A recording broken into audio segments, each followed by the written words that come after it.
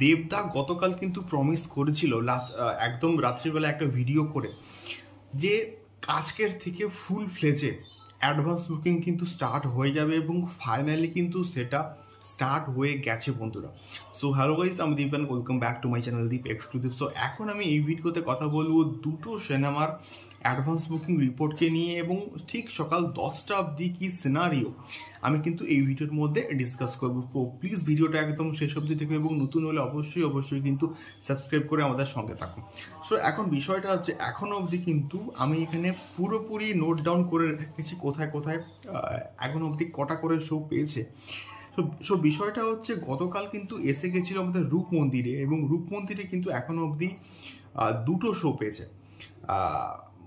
পেয়েছে কিনা? দশম অবতার। দশম অবতার কিন্তু এখনও অবধি পেয়েছে দুটো শো যেখানে বাঘাপুত্রের কিন্তু পেয়েছে মাত্র একটা শো আচ্ছা আমি এখানে কম্প্যারিজনটা করছি।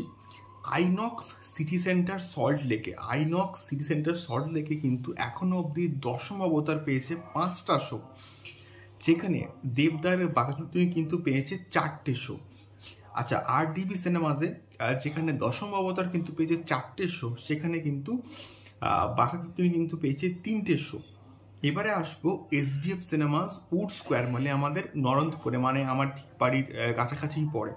তো সেক্ষেত্রে সেখানে দশম অবতার কিন্তু কে দেওয়া হয়েছে ছটা শো যেখানে কিন্তু বাঘাপুত্রীকে দেওয়া হয়েছে চারটে শো তো সব মিলিয়ে যদি হিসাব করা হয়, তাহলে সতেরোটা শো এখন অবধি কিন্তু পেয়েছে দশম অবতার।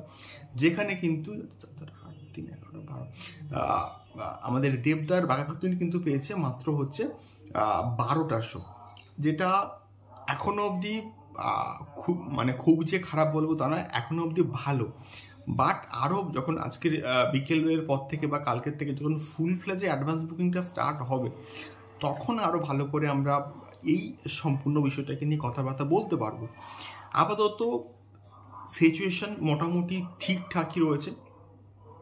দেখা যাক ফাইনাল যে অ্যাডভান্স বুকিং মানে রিপোর্টটা যত মানে নাইনটিন্থ অফ অক্টোবর আসবে, তত কিন্তু অ্যাডভান্স বুকিংয়ের রিপোর্টটা কিন্তু বাঁচবে এবং এই যে যে কটা শো পেয়েছে এখন অবধি, সেখানে মানুষ কিন্তু এখন অবধি তেমনভাবে বুকিং স্টার্ট করেনি।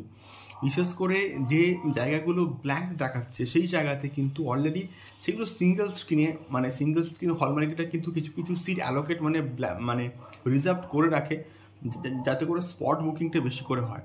সেই জন্যই কিন্তু। তো সেই জায়গা থেকে দাঁড়িয়ে দুটো সিনেমারই কিন্তু সিচুয়েশন মোটামুটি প্রায় সেম যদিও দশম অবতার কিন্তু সামান্য একটু এগিয়ে রয়েছে।